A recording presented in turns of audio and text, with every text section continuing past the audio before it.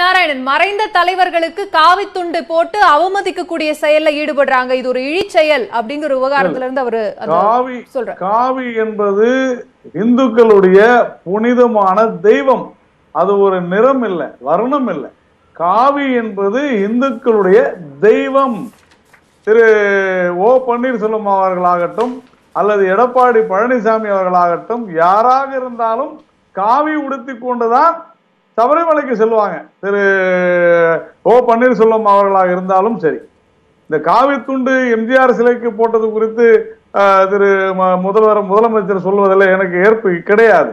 ஆனால் ஈவேரா அவர்களுடைய ஒரு தலைவரோட சிலைக்கு வந்து துவோட நியாயங்கிறீங்களா ஒரு தலைவருடைய சிலைக்கு வந்து ஒரு கிடையாது. அவமானப்படுத்த யார் நியாயங்கிறீங்களா இல்ல செல்வராஜ் எப்படி சார் நியாயமா பேசுறீங்க. துண்டு வந்து இந்து மதத்துக்கு. அது துறவிகளுக்கு தான் துறவிகளுடைய உடை. அதை நான் குறைய சொல்ல. துறவிகள் வந்து யாரு வேணாலும். காவி துணி போடலாம். நம்மளும் கோயிலுக்கு அதுக்காக அண்ணா எம்ஜிஆர் சிலைக்கும் தலைவர் எம்ஜிஆருடைய சிலைக்கும் அண்ணா சிலைக்கு நீங்க காவி மாலை போடுவீங்களா? காவி சிலை கொண்டு போடுவீங்களா. இது நியாயமா? இது தர்மமா? நான் முடிச்சிடறேன். சார் செல்வராஜ் சார் நான் முடிச்சிடறேன் நீங்க பேசும்போது நான் ரொம்ப பொறுமையா அமைதியா கேட்டுக்கிட்டு இருந்தேன். நீங்க இன்னைக்கு எம்ஜிஆர் சிலைக்கு இவ்வளவு தூரம் வந்து முதலமைச்சர் ஒரு பெரிய ஒரு ட்விட்டர்லயோ ஒரு அறிக்கையும் கொடுக்கும் பொழுது இதுவரையிலும் நேற்று வரையிலும் இந்த முருகரையும் முருக பக்தர்களையும் குறிப்பாக தமிழகத்தினுடைய பெண்களையும் கேவலமாக இழிவாக பேசியது குறித்து காட்டுமிராண்டின்னு சொல்லலையே. அதைத்தான் நாங்கள் தொடர்ந்து சொல்லிக் கொண்டிருக்கிறோம். ஏன் சொல்லல? இன்னைக்கு எம்ஜிஆர் அவர்களுக்கு யாரோ கொண்டு போய் ஒரு துண்டை போத்திருக்கிறாங்க. அதுல காவி என்பது அனைவருக்கும் பொதுவானதுங்க.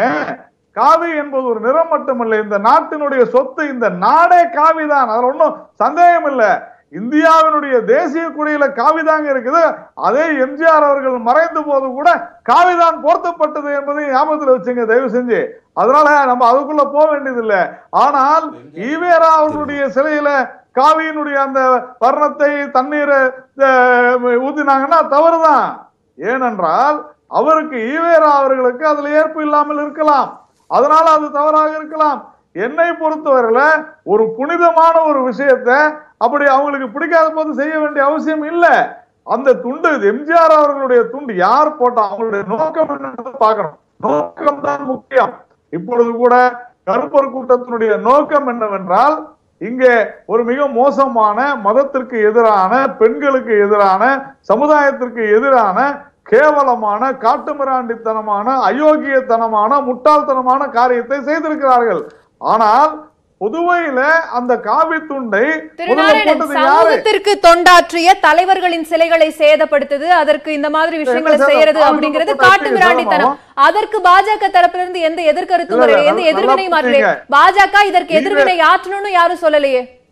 ஈவேரா அவர்களுடைய சிலை மீது அந்த காவி சாயத்தை பூசியது தவறு என்று நாங்களே கண்டித்தோம். எங்களுடைய தலைவர் முருகன் அவர்கள் கண்டித்திருக்கிறார். நான் கண்டித்திருக்கிறேன் தொடர்ந்து விவாதங்கள்ல. அதுல எனக்கு எனக்கும் கண்டிப்பா ஏற்பு இல்லை. ஆனால் எம்ஜிஆர் அவர்களுடைய சிலையில அதை அந்த காவி துண்டை போர்த்தியது யாரு? எத்தனையோ பேர் போர்த்துறாங்க. வேணும்னு அதை யாரும் செய்ய மாட்டாங்க. நீங்க கருப்பு துண்டு போத்துனா கூட அது வந்து ஏதோ கருப்பு கொடி காமிக்கிறாங்க அந்த மாதிரி சொல்லலாம். காவி. துண்டு என்பது புனிதமான விஷயங்க. காவி துண்டு என்பது அனைவராலும் ஏற்றுக்கொள்ளப்பட்ட ஒரு விஷயம். அதனால காவி துண்டு போர்த்தியது குறித்து எந்த விதமான கருத்தும் இல்லாது முதலமைச்சர் எடப்பாடி பழனிசாமி அவர்கள் எப்படி அதை சொன்னார்னு எனக்கு புரியல. திரு செல்வராஜ் அவர்கள் தான் சார்ந்திருக்கிற கட்சின்றதுனால அதை சொல்றாரே தவிர அதை யார் சேதப்படுத்தினாங்க? இல்ல இல்ல, ஓபிஎஸ் இருவருமே அந்த விவகாரம். தொடர்பா கண்டனம் செலுத்தி இருக்காங்க நான் ஒரு சிறு இடைவேளைக்கான நேரம் மற்ற இரண்டு